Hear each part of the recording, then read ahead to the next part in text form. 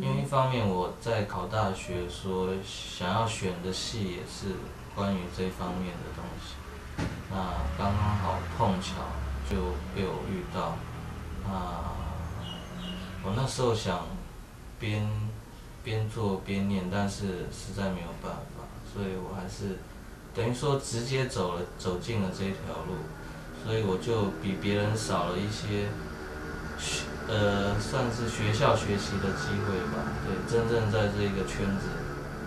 等于说是学徒，没有文凭的学徒，但是还是主要是偏向一些表演的东西。我在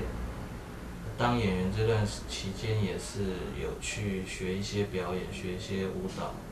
比较是肢体上的东西。